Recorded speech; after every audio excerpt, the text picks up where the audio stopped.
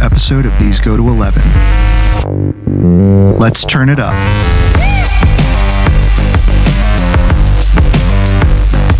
Hey, everybody, welcome back to These Go to 11, an unchurchy conversation about everyday faith. Please make sure you like, subscribe, and review on your favorite podcast platform. This not only helps us to get our content out there, but also helps us to find out what you, our faithful listeners, think.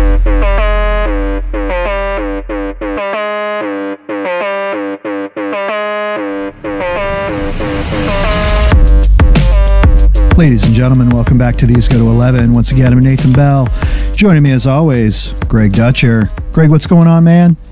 I'm doing well, man. Uh, can you hear me okay? Because I hear you, but not through my headphones. I can hear you fine. and I can hear you fine. I can hear you All fine. right. Let's just keep doing that. No, I can hear you fine. no, I can hear you fine. Dude, tell me, since the topic came up and we're not afraid of the random, did you ever do that stupid thing with like a girlfriend growing up where you hang up, you hang up, you hang up? I did not, but Yeah, here's, me either. here's the reason why. Yeah. Um, I only dated one other girl before Joy, Wow. and uh, I dated her when I was in ninth grade, and I I am happy slash proud to say I was not that lame when I was in ninth grade. I became more lame later in life. Yes, I will proudly say I was that lame. I did do such things. And sometimes I look back, wow, Lord, thank you for not like striking me down for such uh, idiocy. But yeah, like, oh no, you got, no, I'm not going to hang, you hang up. Wow. Anyway, just because we a- had that moment. Actually, in fact, um, uh, so uh, we were we were just talking about this, but Joy's family, you know, they lived in Ethiopia for a number of years, and she would go and visit them on uh, holidays during you know school breaks and things like that. And you know, back then was AOL chat. oh, yeah. And so uh, I would actually fall asleep, no joke, chatting with her. Like we'd be just chatting back and forth. Wow. And I had this comfy chair, kind of like what you're sitting in now, at our computer uh, desk. And I would literally like fall asleep and I'd wake up, you know, like a half hour later, and, you know, on the screen would just be like a string of like nonsense, you know, letters. Enjoy, you know, her, her little uh, thing there. Uh, are you, did you fall asleep? Are you, okay, I guess you fell asleep. I'll talk to you so tomorrow. funny. That's so funny. Is that was that that was AOL Instant Messenger? That was AIM? Instant- yep, AIM. I remember that, dude. Yep. I remember that the early days of the internet. I had, uh, I think my first email was Juno. Do you remember that? Yep. And Yep. remember, you'd hear the. Yep. Yep. It would say handshaking. Yep. It would take forever to establish the Yep. connection. And when you first went to websites, you remember it would like pixelate Yes. from top to bottom, row by Yep. painful row. Yep.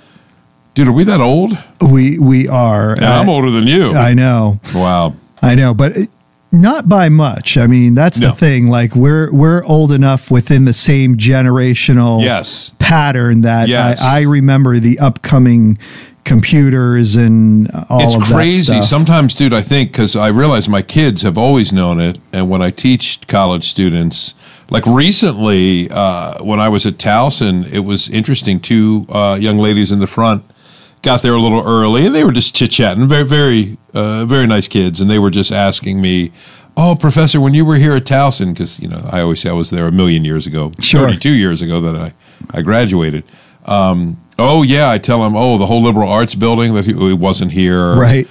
uh, obviously no starbucks in the library uh, all the english courses were in linthicum that building's being torn down now and and they were just fascinated they were asking me questions that I realized they had no framework to understand. I know. Like, they were I like, know. "So how did? But how did you know where to go?" I said, "Well, there's this weird thing that usually exists called paper, right. and they would send you a thick packet Yeah. of paper." And I said, "And you you often knew if you were accepted or rejected by a college just by the thickness of the envelope." Yeah. If you had a thin envelope, it was probably just one page to tell you, we regret to inform you.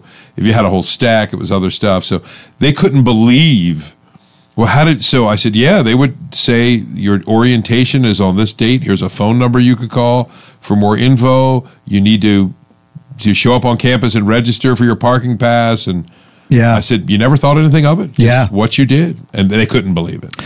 we uh, Joy is a big fan of NCIS, Oh, yeah. and we were just watching an episode recently where all of their smart devices got hacked, Yeah. and so they had no way, you know, no way to basically, you know, locate something, you know. So one of the the people's talking, and they're like, "Oh yeah, just drop me a pin to that location," Yeah. and like, "I can't do that. You don't have your phone," and he's like. How am I supposed to get there? And you know, Gibbs, you know, Gibbs, and he's like, get a map. Yeah, right. Um, what what a map? What is that, dude? It's scary when MapQuest is considered old school. I know. that was cutting edge at the time. Right. Remember, you you'd map it out, you'd pre-print print the your directions. Yep. directions. I mean, you, you you nobody ever thinks about it anymore. Yeah, it is fascinating, dude. That we we do have the, uh, I guess, unique place in life uh, in in our generation to say we remember. Yeah. In in Stephen King's Dark Tower series, uh, kind of a fantasy epic in in in another world. Um, the phrase there is uh, they they refer to things in the present as whatever, but the past as that was before the world turned. Mm. And I honestly do, do feel like it's been such an epic shift. Yeah. You know, that the first essentially 20 plus years of my life, almost 30, uh, were lived in one reality. Right. Then you saw it morph and shift, and it's we're, we're never going back, dude. No. Unless we have a good old zombie apocalypse. Or an EMP. An EMP, it's uh, hey, an EMP that knocked things out for a year. I would just like to see how people get by. Right? Yeah. Of course, I act like I'm all self-reliant. I'd be the first person sniveling about not getting my my Orioles updates. what do you mean I can't order ahead, Dunkin'? No, come on! I've got points on my Starbucks app. I've got to. That's so true, dude. I used to have a, uh, a former uh, boss of mine who who would contemplate those things. He's like, "Do you know what would you would do if anything like that ever happened?" And I'm like, "Yeah, that was literally my college degree. Like, I grew up in New Hampshire. I lived that. Like, Yeah. what are you talking?" He's like, "If we ever run into that situation, I'm finding you." Yes. It's bad, dude, if people think of us as the rugged survivalists. We're like, um, we can do it, man.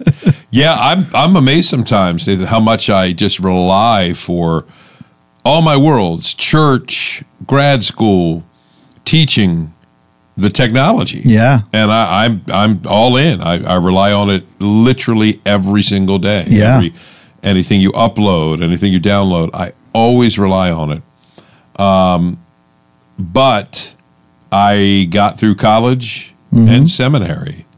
Never had a computer. Yeah. Uh, There in seminary, I was in seminary ninety three to ninety seven. Okay. So there were some students I remember with these huge, thick, Yeah. Yeah. Yeah. like five inch thick laptops, right? Yep. That were clanking bricks. away. They were just those big bricks, and they'd bring them into class, plug them in, or whatever. And I remember thinking, "What is that?" I had an electronic typewriter. nice. That was my my cutting edge uh, device, and never thought anything of it. And when we wrote Greek and Hebrew papers, I was telling this to Ryle, uh, one of our elders, who's uh, in his retirement years, is doing seminary, which is really cool. And I told him, I said, Ryle, you know, when I was in it and I took Greek and Hebrew, you had to type and leave space to go back and write the Greek or Hebrew words by hand. yeah. That's just how you did it. Anyway, enough down memory lane. That's right. Anybody listening that's young is like, would these old guys stop droning? and then back in my day, when I should get off my lawn, I'd walk up to you know five miles to school and back, uphill both ways In the snow. in the snow, and uh, then I'd come home and I'd uh, I'd feed the chickens. all right, that's all I got. More important things to talk Uh, more important things. Well, we are uh, still in March at this point, and this is we're we're actually in Holy Week right now, Yeah. and so you know we just celebrated Palm Sunday. Uh, we are heading into uh, Monday, Thursday, Good Friday, and of course, uh, you know Resurrection Sunday. And so, Greg, we thought we would go ahead and pivot. We had been looking at Exodus and how um, Exodus is really a milestone in the the Hebrew culture, is a milestone for the Jewish culture, and really is is a starting point for us as believers. And how God is just showing his people through the Exodus something that he's ultimately going to fulfill as you put it a couple weeks ago on a cosmic scale. Yeah. Um, not just the deliverance of of one little small nation, but of of generations of people from past, present, and future. Yeah. That is what the cross will ultimately represent. Um, and so for uh, Holy Week. We are going to be looking at the significance of the Garden of Gethsemane, but also um, the six sayings of Christ on the cross. We're going to kind of Seven sayings. Seven sayings. I caught that last week at the Um, Yeah, very yeah. end. Although I'll put in something really quick for one of our faithful listeners, and you know who I'm talking about, my friend. One of those sayings is debated. Okay. Uh, I actually think it's likely legitimate, but we can cover that. Okay. We can cover that. So, in a sense, there are some people that say there were only six, Six. legitimate. The one I'll, I'll take away the suspense is the some ancient texts do not have "Father, forgive them, for they know not what they do." okay. Uh, but we'll we'll we'll get into that. Talk about that when we get there. Um, so, yeah, Greg, we, we left off with um, Christ infusing new meaning into the Passover meal that he is sharing with his disciples, what we now celebrate and call communion. And so we leave that that meal and Christ takes uh, his disciples minus uh, Judas, Yep. who is going to betray him, to the garden, and he has uh, most of them remain on the outskirts, and then he takes three of them Yeah, in a little bit further. Yeah. And then he himself goes in even further yeah. talk to us about what's going on here and, and what Christ is doing ultimately. Yeah, it's fascinating to me uh, the the post prayer time in the garden. Uh, a lot of commentators have pointed this out. This even actually came out when the Passion movie came out. I think I saw Gibson talking about this in an interview. That was, you believe it, that was 20 years ago. The 2004 Yeah. movie came out. Um, I remember seeing that in theaters. Me too. I I saw it at, the, at the Senator Theater. Okay, and yeah. it's the one movie that I, I'm not judging others that did it, dude. I just could not get like junk food popcorn. Yeah. for that movie. Yeah, it was- There were, yeah. there were people that did. I Yeah. remember. I just you just felt uh, A little, yeah. felt weird. I- yeah, I hear what you're saying. Not not it, for me. I just felt I don't know how to spectate. It wasn't as much of a of a entertainment No. type movie. It would be like doing that with the documentary or something. Yes, exactly, exactly. Like, yeah, it would be weird doing that if you saw documentary footage of the Normandy invasion. Yeah. and it, it it's it's tough. But one of the things that stands out is, and I think this is often forgotten, is that Jesus had good cover. Hmm. He knows that the temple guard, because of Judas's betrayal, is on their way to arrest him. Um, and once that happens, it's just automatic. You know, everything's going to play out by script. So it's interesting that the environment for his final, what we might call prayer of wrestling with his father, is in an environment it would have been incredibly easy for him to escape. Um, there was no way in the darkness, if he had a head start, that you're likely going to find this peasant who wants to be hidden and get out. So he's staying put. I think that's actually part of it. I think some of the temptation is probably like spatially, geographically related. Um, so he's staying put. Peter, James, and John are the three Yep. that come a little further into the, the garden with him. And it's just interesting. I mean, Gethsemane literally means it's like olive press, uh, which is just interesting imagery for what's what's going on. And here he is on the ground. Of course, Luke tells us that he sweat uh, great drops of blood. We've talked about that in some other podcasts. There is a condition called hematidrosis. It's been documented because some people think, well, it's a figure of speech. Uh, maybe, but it doesn't have to be. Right. There is a condition where capillaries burst. Close to the surface where the sweat and blood exactly. mix. And, Yeah. and and they basically mix with the perspiration, ooze through the sweat glands, and you're sweating blood. It's Yeah. it's it's a documented condition under times of extreme duress. yeah. So just think about that. What fascinates me about it, Nathan, is that Jesus also seems to crave the companionship of his friends. Hmm. And I think that's legit. Yeah. He wants his friends near him. Won't you stay awake and pray? Yeah. So he wants to talk to his father, but he wants them nearby. Yeah. And they're they you know they've had a long day, they've had Yeah. a big meal, they've had wine, and they can't stay awake. Yeah. I mean, it's, and in fairness, it's late into It's the very evening. late. Yeah. And they're nodding off. And, well, dude, you started by saying you're texting Joy Yeah. uh, in another Yeah. lifetime on AOL. Yeah. And, you know, eventually your, your fingers probably slide and you drift and Yeah. you're gone. And um, we know that feeling, right? Yeah. Staying awake. But Jesus is telling them to stay awake. And here he is on the ground praying. And I just am, am so taken by it, Nathan. The Father, is it possible to remove this cup from me? And that cup is a clear symbol. And I meant to have some of these uh, on here, dude. So I'm going to find this quickly.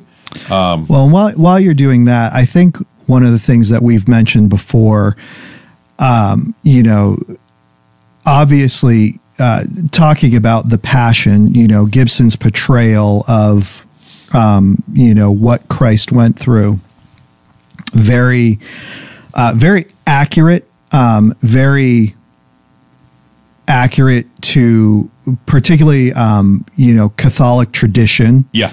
Um, but one of the things that I find fascinating, and I, I don't think this in any way takes away from it, is that portrayal of Satan in the garden with him. Um, I just, that whole scene, I, I find cinematically so profound. And also, that's something that you can visually imagine going on. And It was a brilliant. you know just Brilliance. just that back and forth where satan is whispering into the ear of christ right and christ's focus is still just on his father Yes. and then his resolve at the end crushing the head of that snake Yeah. that's going through um, just such a beautiful picture i show that to my students every year Yeah. um, because it is just such a, a beautiful picture of what christ is resolving and setting himself to do Oh, dude, uh, let's talk about that since you brought it up. Yeah, that depiction. Yes, I'll be the first to say no. We don't have that described in Right. Scripture. So it's a an artistic choice. Yeah. it's a cinematic choice, and I'll argue, and I know you agree because we've talked about Yeah. this, but the, the right one. yes If you don't have that scene in the Passion of the Christ, you have a really well done depiction of the final 12 hours of Jesus, particularly the scourging, which a lot of people I don't think realize um, Jesus was submitted to before the crucifixion. Right. That is portrayed very graphically yeah in the movie. It's it's a hard scene to watch.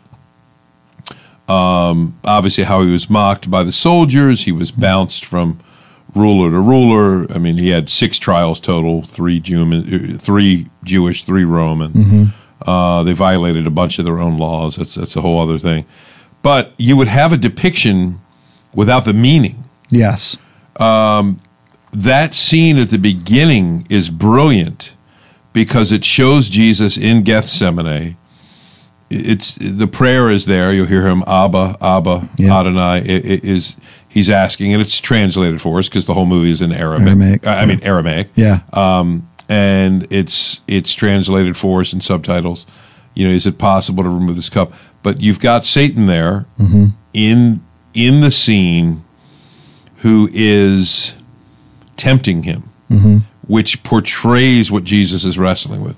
I always heard this. Uh, somebody said this years ago. God doesn't tempt; He does test. yeah. Satan tempts, and often it's it's the same event, it's the same incident, right? Yeah. I mean, you could say a, a man who's tempted by evil to be unfaithful to his wife, also has a moment to be tested to see if the metal of his faith and trust in God's promises and his commands will hold. Yeah. That is similar to what's going on here. And because Satan says things like this in, in that scene in the movie, you can't do this. Right. This is it's too costly. It's too much for one man to bear the sins of the world. Yeah.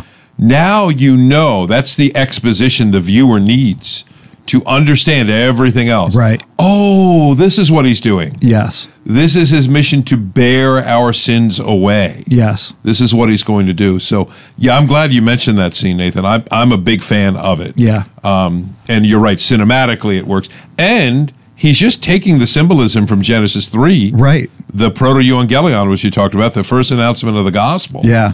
Where um, that's the promise, that's the conflict. Right. Yeah, there's this epic conflict coming. Yeah. And here we see it at the, at the events of Christ's death. Um, Christ is going to be seriously harmed. Yeah. And he certainly is. He's crucified. He dies, but he's going to crush the serpent. Yeah. So the fact that we find Jesus here, I mean, he knows it's coming. Yeah. And I think the key to the whole thing, and I did find it when you kindly gave me that introduction, Nathan. I mean, there's several passages, but um, Jeremiah 25 15. Uh, Thus the Lord, the God of Israel, said to me, Take from my hand this cup of the wine of wrath, make all the nations to whom I send you drink it. Isaiah 51 17. O Jerusalem, you who have drunk from the hand of the Lord the cup of his wrath, who have drunk um, to the dregs the bowl, the cup of staggering. Um, you see it again in uh, Revelation 14. If anyone worships the beast and its image and receives a mark on his forehead or on his hand, he also will drink the wine of God's wrath, poured full strength into the cup of his anger. Um, this symbol of the cup, that's what Jesus is wrestling with there in the garden Yeah. because I think John Stott wrote an article many, many years ago, 70s or 80s, called Was Socrates Braver Than Jesus? Because when Socrates is faced with his his trial, um, he he grabs the hemlock and drinks it boldly. He tells his his disciples, "Don't shed a tear. I'm taking the stand for the truth." So obviously, Stott is going to argue, of course not. Right. Socrates is not braver than Jesus. But why is Jesus staggering here? Yeah. Socrates was considering the prospect of a quick death, an unpleasant one, um, but his own physical death. Jesus is looking, yeah, sure, at his death in a very unpleasant one, Right. um, basically slow asphyxiation, but he's looking at something more. Yeah. And here's the heart of the whole story Yeah. the wrath, the eternal fury of God's justice, punishment of all sin. Yeah. And he looks it square in the eye and asks, Lord, is there any way I can save them Yeah. and not drink this cup? It's the the cup is is hell itself. Yeah. It is the essence of of God's complete, if you want to use the fancy word, eschatological, his his final end times judgment on sin. And dude, you and I or nobody, we just don't really know what that means. Yeah. But he did. And he staggers under the weight of it Yeah. and it, it's just incredible Yeah. that here he is is there any way i can save them and um, it's not a sin to ask that question Right. it's one final clarification Yeah. And the answer is a non-answer Yeah. which is almost a little preview of what's coming Yeah. the the the dereliction. Uh, we're going to get to the seven sayings, Yeah. but the cry of dereliction from the cross. Um, my God, my God, why have you forsaken me? I think those two go hand in hand. What what he's anticipating in the garden, Yeah. he's experiencing there. Yeah. So can I just stay on that a minute, dude? Yeah. I, I might be messing up the order here, but No. that fourth saying, Yeah. because it's so connected, it, I'm I whenever I I read Jesus wrestling in the garden, and I see Jesus the the fourth cry when he cries, "My God, my God, why have you forsaken me?" Um, they just are just intricately connected. Yeah. Uh, I think the one is that moment in anticipation.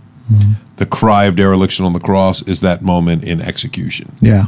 And we believe, based on those expressed truths, that God was purposely turning his back, Yeah. forsaking Jesus Yeah.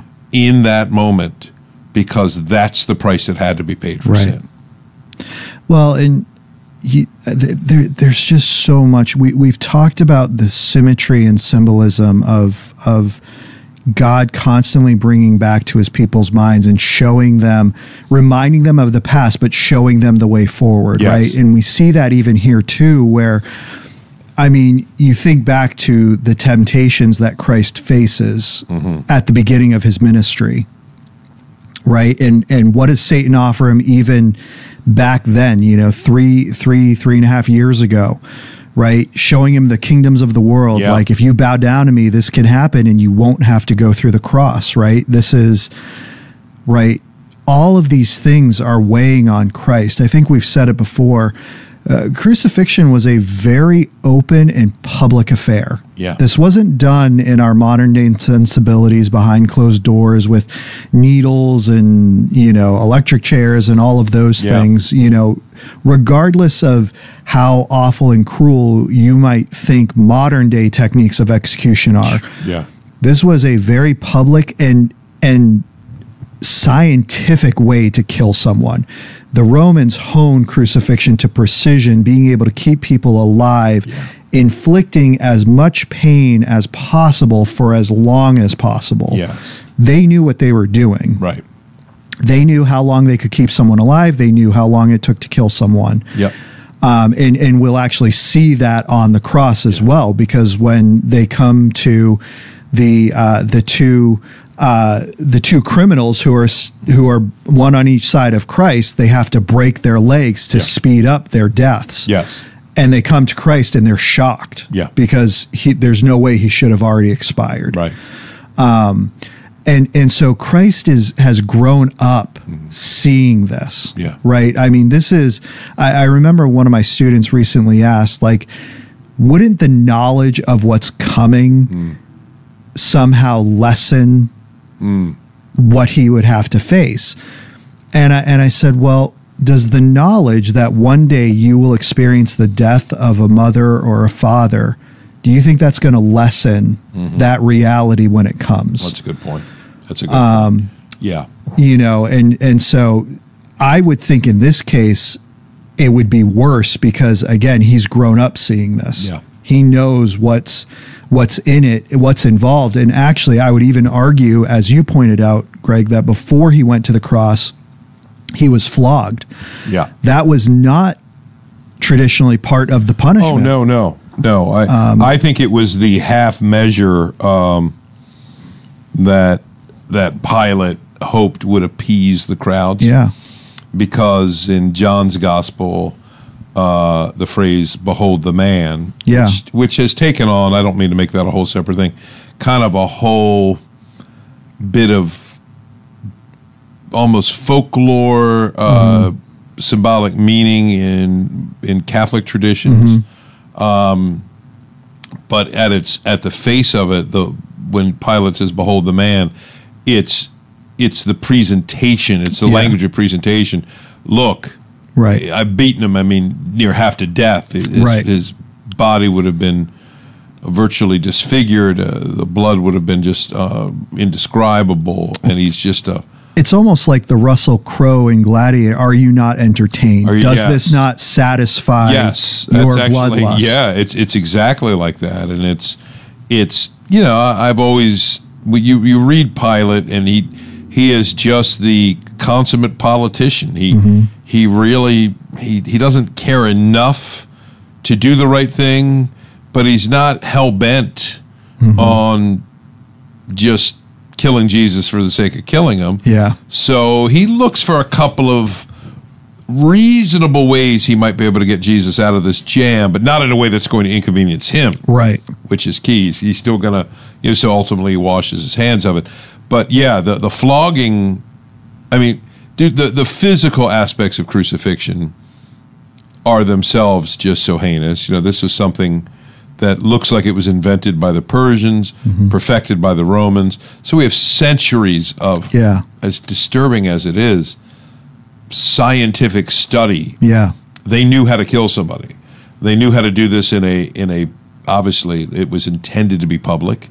I mean, it's just Rome's way of flexing their muscle. you Yeah. know, and this is children would have grown up seeing this. It was often uh, along the the roadsides. Uh, there were times mass crucifixions, hundreds of crucifixions um, that the Romans had done for a long time when they would conquer a territory and they would they basically show this is what happens if you defy Rome. So Jesus is well aware. And generally, do, yeah, the, the breaking of legs will, will keep you from being able to inhale, exhale properly, and it just speeds up your your death. The suffocation. Yeah. Uh, yeah, and you would suffocate that much faster. Um, so that prospect is horrible, but still the the the sin bearing, wrath bearing work that Jesus is going to do in the midst of something that's already horrible and unthinkable anyway. right. The physicality of the events are I mean, he's lost a night of sleep. Yeah. He's been bounced about like a like a pinball from from ruler to ruler and uh, Herod to Pilate and you know the the the everybody's getting their their their their jabs at him. Yeah. The soldiers are making a game of it and they let's crown him with a crown of thorns. Uh, let's, let's strip him, mock him, shame him. But he is going to stare the eternal justice of God square in the eye and realize, yes, I must take this Yeah. to save them. Talk to us about the symbolism of of drinking the cup to the dregs. Like what what what is that for listeners out there who might not know or yeah, understand what that is? Well, I, I think probably um, it it speaks of the full satisfaction Hmm. of the work when you drink it to the dregs. Literally, there's not a drop left. Hmm. Right? I mean, we use terms like that today. Oh, they they licked the bowl. They Mm-hmm. they didn't leave a, a crumb. Right? It's it's the full. It's all taken. Right? Uh, it- it's just what uh, would be done, and the implications of that work are significant. I always tie this again to Romans 8 1. Therefore, there is now no condemnation for those of us in Christ Jesus. No condemnation in the present. That verdict, most people think, well, that won't be pronounced till we get to the end of our life. And, you know, you know in a works uh, understanding guy, I guess God will kind of weigh the good against the bad and hopefully, you know, tip in my favor. No the the verdict comes into the present now. Why? Because Jesus drank that cup to the dregs. He left it bone dry, yeah. which means he fully paid yeah. the price. And I think the the the the drinking that cup, that that picture is I'm not going to take a little bit of it. It it suggests that there is no more condemnation left. So the the, the theological word is propitiation. Um, uh, the propitiation really is the full satisfaction of God's justice, His wrath against sin. So there's a lot in that picture. Yeah. When he's wrestling with drinking that cup, is there any way this cup can pass from me? And of course, the fact that his father is silent, Jesus knows. And then he stands up, he resolves, he's ready, he's ready to do the work. Um, and it's it's just incredible. Yeah. He is resolute, he is determined, um, and he will will do what the Father has assigned him to do, even experiencing a separation from him that dude, I always say that's the part just gives me chills, even talking about it now. Yeah. I use words I don't I know I don't know what they mean. Yeah.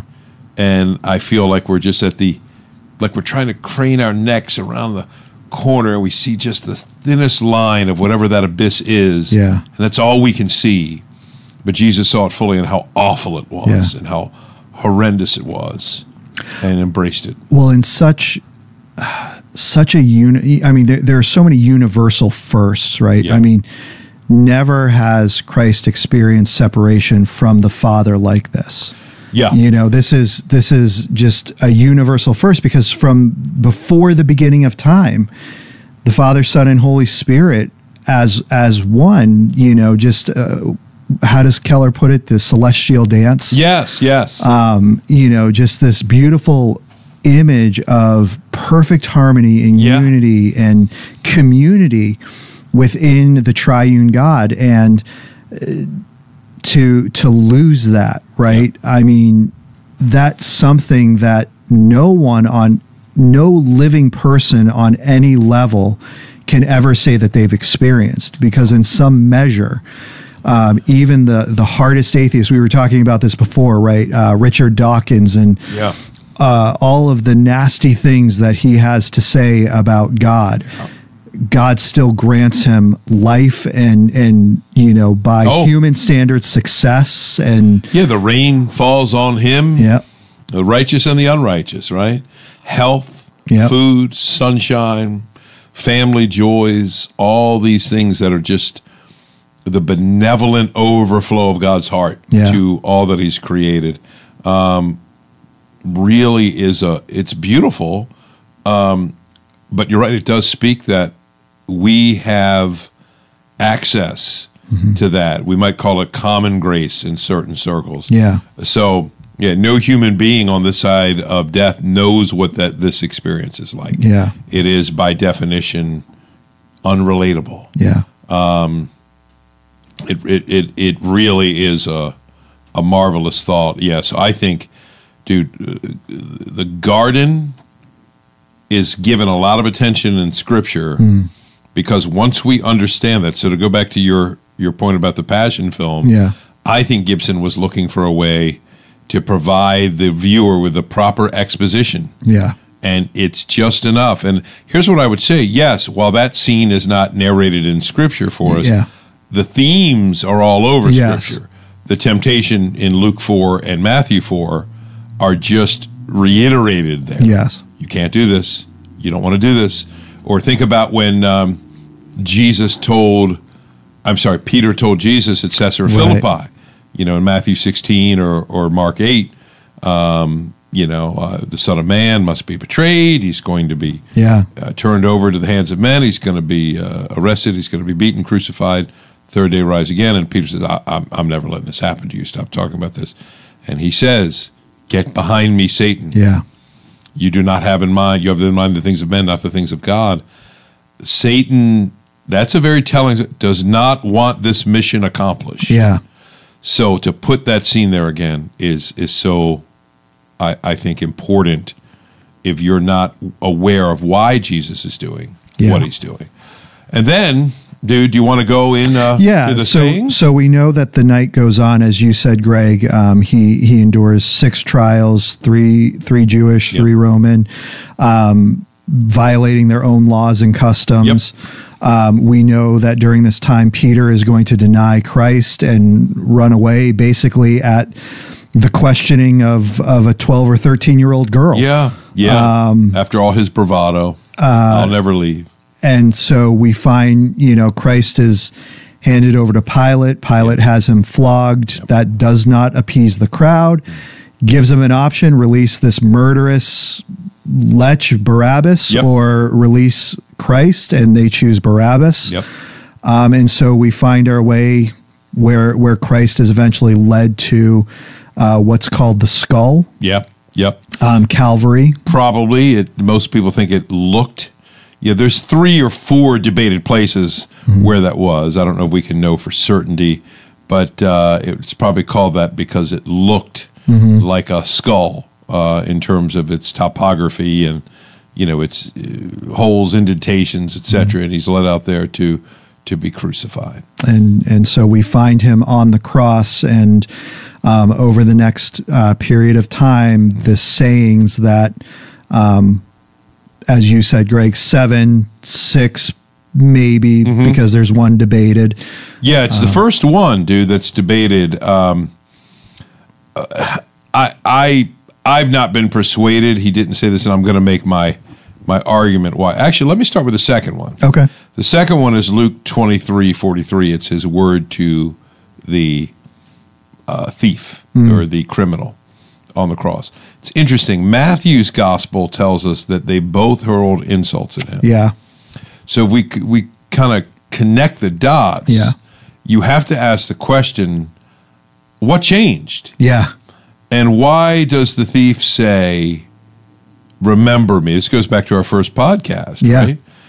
Um, Lord, would you remember me when you come into Yeah. your kingdom? This sloppy sinner's prayer. Yeah. It's my favorite sinner's prayer because it's so unpolished. Um, just a, doesn't know what to say. Something has changed. Yeah. What in the world has changed? I think it's the first saying. Now, um, for readers that want to go to this, you can look. You'll you'll find a few articles that suggest this text. Uh, it's a textual variant issue, meaning it's not in every one of the ancient manuscripts that we have. I'm not going to do a say much more about textual criticism mm. and canon formation right now. I'll just say there are some godly people that debate this. There's godly people that defend this. Mm-hmm. I think it's be- oh, and oh, I'm sorry. Jesus' response to the thief. I should say that is very Yeah, important. yeah. Today, this is the saying: "You will be with me." Yeah. Today, you will be with me in paradise. Um, powerful. Yeah. That this guy was likely a murderer. Yeah. Uh, we can't say that for certain, but it was a capital crime. The Romans, the, the, you, you treason would have been one of those. I think it's very likely uh, that this man uh, had murdered. Um, you know, who knows what else? We know from his own ma- uh, words, "Hey, we're getting what we deserve." Right. Like, hey, we had a thing going for a while, we got busted, but this man has done nothing wrong. What has persuaded him? Yeah. My only evidence is the first saying uh, about nine verses sooner. Father, Jesus says, forgive them, for they know not what they do. Yeah. And I believe that that is something Jesus said, not just because there's some very reliable textual evidence that he did, but I also believe it because I, I, I think the second saying Yeah. is the overflow of the first. Yeah. I mean, here is this man hurling insults, mm-hmm. you know, because the whole crowd, why not get in on it, right? You know, misery loves company. Everybody's mocking this guy. And why does the man change? Yeah. And when you see a man who has every reason to seethe and spit and curse the people that are ridiculing him and mocking him, but he doesn't just pray, he prays for their forgiveness. Yeah. He it would be impressive if he just calmly prayed. Yeah. Right? I always tell talk dude about the scene in To Kill a Mockingbird when uh, Gregory Peck's Atticus Finch uh, you know, the night I think he has to tell the, the Tom Robinson's widow uh, that the husband's not coming home, her husband's not coming home, and I can't remember. Is it Ewell, the the redneck villain in there, uh, shows up and he he spits in Atticus's face, and I remember. Oh man, I want Gregory Peck to just haul off and punch him right in the nose. right? Yeah. And instead, he takes his hanky and he just kind of calmly wipes his face and he tells his children, "Let's go home." He doesn't. Fight. That's impressive. Yeah. That Yeah. would be impressive. I always tell Lisa, Lisa, I so want to be that man, Yeah. and she'll say, "I do too." Meaning, she wants me She wants you to be that man, too. because she knows it's my desire. Yeah. I more often than not fail miserably. Yeah. achieving it because it's a Christ-like picture. Yeah. But what Jesus does is stronger than that. Yeah. It's not just that he shows dignity and it's not just non retaliation. It goes, well, I think this is what grabbed the other criminals' Yeah. attention. Father, forgive them. They don't know what they're doing. Now, it's interesting if he's referring to the executioners, they know exactly what they're doing. They're very Right. good at it. If he's referring to the crowds or the whole, they know exactly what they're doing. They, this isn't their first crucifixion. Uh, I think it speaks of the enormity Yeah. of the weight of what they're doing. It's it's definitely an intercessory prayer. Yes. Right. I mean, think you know, think about you as a father. If you're watching this injustice happening to your son, Yeah. right, and and that's almost the picture that we're getting. Right. Is you know he knows the mind of his father. Yep. And he knows that his father's heart is bent on justice. Yeah. And seeing justice done. And so this almost seems like an intercessory prayer. Father, this is what I'm here for. Right. Um, and, Absolutely. And, and, and you get that because this is what you see where, where the thief that, or that second criminal, sorry, not thief, but that second criminal comes in rebuking the first. Don't you fear God? Yeah. What are you doing? There is Yeah. something divine agree. happening here. Yeah, that's a good point. Like I've caught something that you haven't caught. How could you possibly be missing this? Yeah. Right. There's something it's going to happen too at the end with the Roman centurion, the Yes. soldier. Says this truly must be the Son of God. Something happened on the cross. Yeah. That he witnessed. He was there the whole time. That speaks to him. By the way, a quick word on that. I, it's framed so powerfully. You see it in Mark. So I'll give something away in the Mark series. Why not give this away now? The book is really framed around. You could argue two confessions. Hmm. One in the middle in chapter eight. That's Caesarea Philippi. Yeah. Who do people say that I am? Yeah. Some say this, some say that, some Yeah. say, but who do you say that I am? Peter, you're the Christ. Um, yeah, he, he says it. Then, of course, he stumbles right, after, but he does say it. So you've got really the, the, the leader of the apostles, the, the what what I think is in the context of the book the Jewish representative, and then you've got a a Roman soldier, a high ranking soldier, captaining this execution squad uh, of Jesus at the end of the book Yeah. surely this man's the son of God.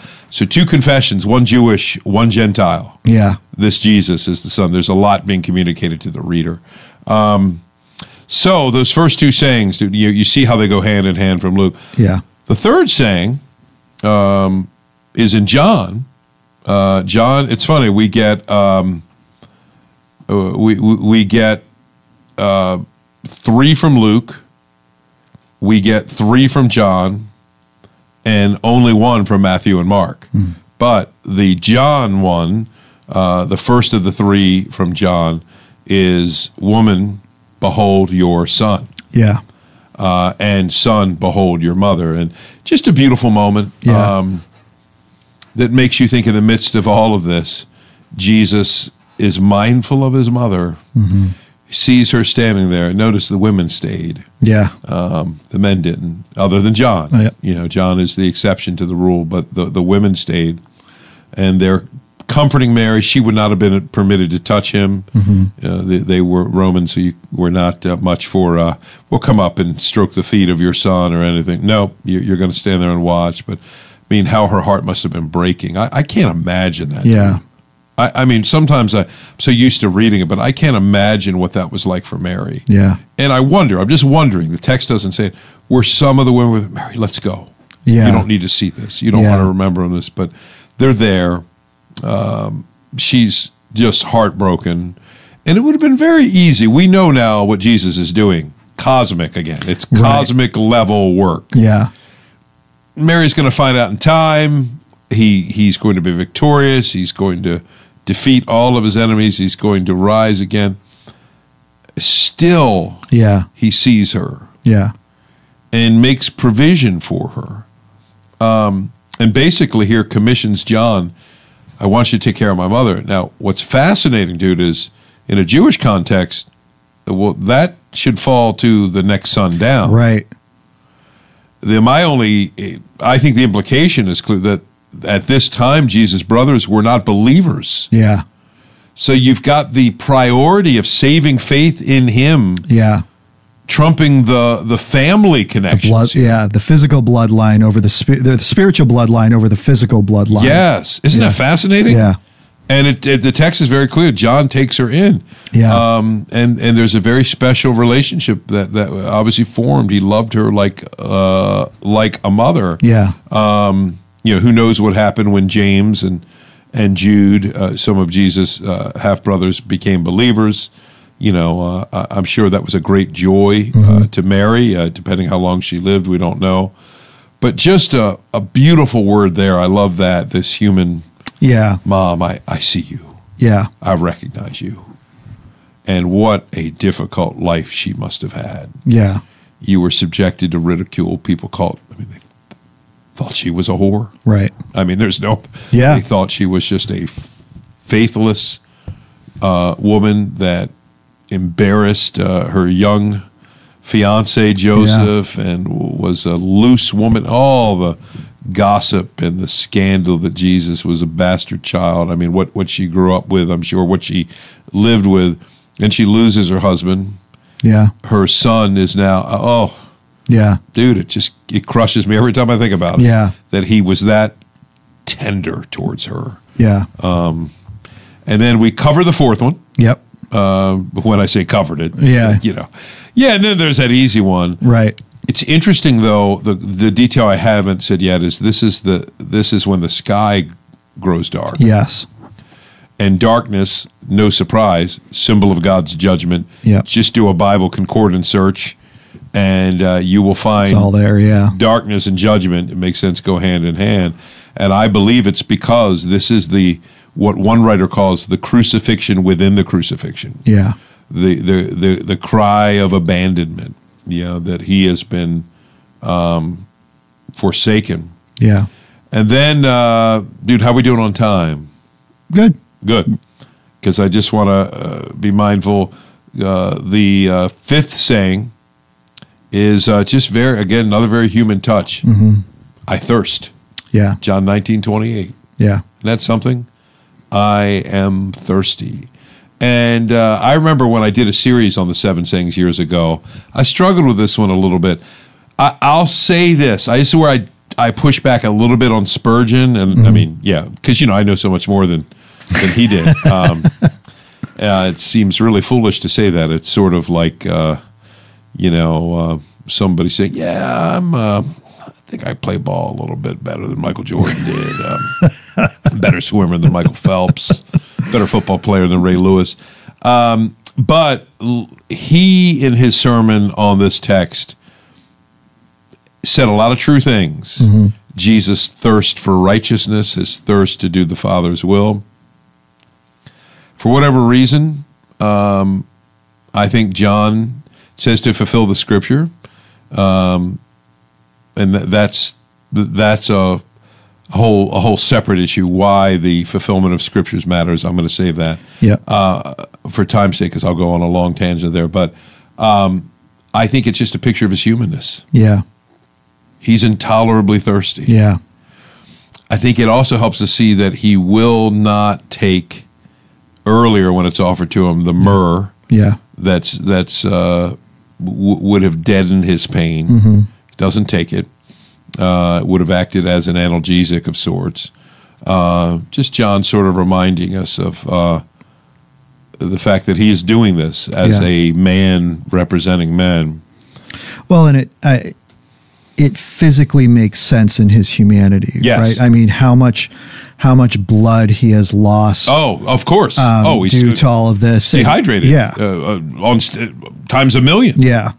And so just getting that getting that detail of a reminder, right? We we see his his compassion and his humanity. Now we're seeing his physical humanity being brought forth now, right? The the needs of his physical body Yes. um, as a human. Oh, absolutely. Um, and I think it's John does that. Uh, John, it's interesting because John is the gospel writer we think of reminding us of his deity, and he certainly does. He's the one who tells us, right? The, Right. In the beginning was the Word. The Word Right. was with God, and the Word was God. And then he also ends the book with Thomas's confession, or almost ends it near the very end, um, where you've got Thomas saying, "My Lord and my God." So he kind of takes us back after we've read this. story. Oh, that's right. This is God in the flesh. But he's also the one who tells us in John 4, the story of the woman at the well, that Jesus sitting down because he was wearied from his journey. Yeah. You know, just just those little, oh yeah, he was tired, physically bone tired. Yeah. And here he is thirsty uh, at the end. He is experiencing the full extent of human suffering. Um, and then, dude, I, I, I don't want to say any of these are my favorite, but boy, this this could be a whole podcast just on John nineteen thirty.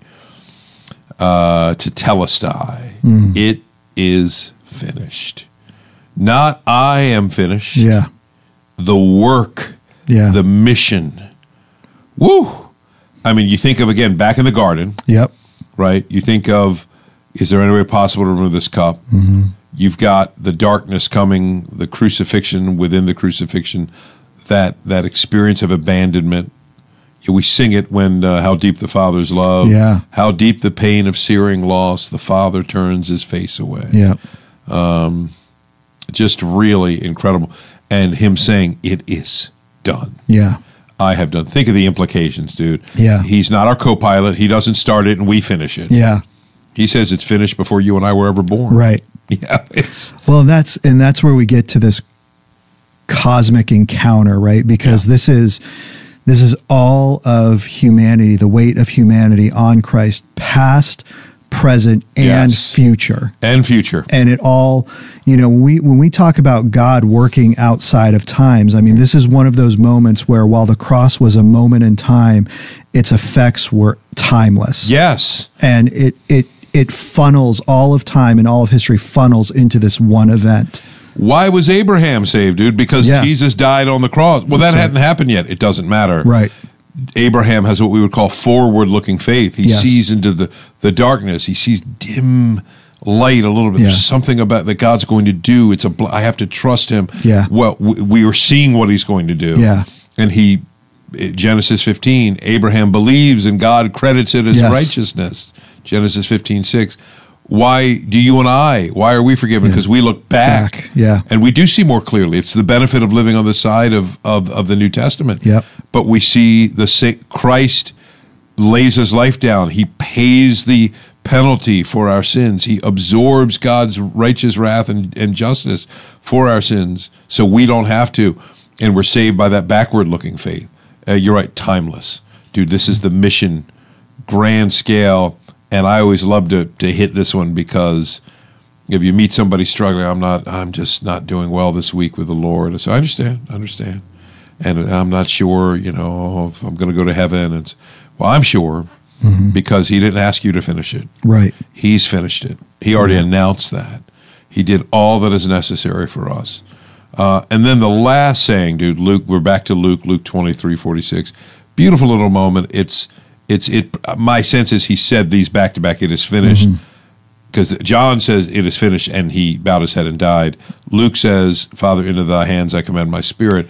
I think this is probably the order. It is finished. Yeah. Father, Yeah. into your hands I commit my spirit. It's interesting the times that Jesus mentioned the hands of men. Hmm. Uh, the Son of Man will be betrayed into the hands of men. Yeah. And what did we do? Well, we we we spit upon him. We tore his beard. We we, we dressed him in a in, in, in a faux robe and mocked him and hated him and and uh, all for our pride and entertainment and um, you know that's what that's what man's hands Right. did with him. But never again would Jesus experience that. Father, now into your hands I commend my spirit. Which kind of leaves us so what are the Father's hands going to do Hmm. with him? I got a pretty good idea it's going to be pretty good. Yeah. Uh, and I think Easter Sunday will ultimately answer that. Now Yes. that he's he's innocent, Father, I'm coming back. Yeah. I've completed the mission you sent me. It's uh, just a good thing for us to ponder. Yeah. This uh, heading into Holy Week. Yeah. No, and you know, we have our normal uh ending sign off that we don't do occasionally, and this, And is one of the times that Yep. we are not. I knew you were going to say that, Nathan. Um, and rightly so. Uh, yeah, you, just again, the whole purpose of why we were doing this is for us to think about, contemplate, to prepare our hearts um, for Easter. It is always good. Um, you know, Scripture talks about meditation. Scripture talks about reflections. Um, God is showing His people all throughout. Remember, remember, remember. Do these things so that you can remember um, the work that God has done and is doing on our behalf. And so we wanted to bring those things to your mind as well uh, during this time. And we look forward, uh, as we do on, on Good Friday, we always leave on a, a more contemplative and heavier note because that's what it deserves. Yes. You know, this a- as you said, right, the the the Roman, the soldier looking at Christ, surely this man was the Son of God. Yeah. Um, and so we leave you to contemplate uh, whenever you're listening to this, um, and we look forward to celebrating on the other side. Yes. So we will catch you all next time. Thank you again for listening to These Go to 11, an unchurchy conversation about everyday faith. Once again, please make sure you like, subscribe, and review on your favorite podcast platform. And if you ever find yourself in the Forest Hill, Maryland area, please feel free to stop by at 135 Industry Lane, and you can get all of our service times and information at christfc.org. These go to 11.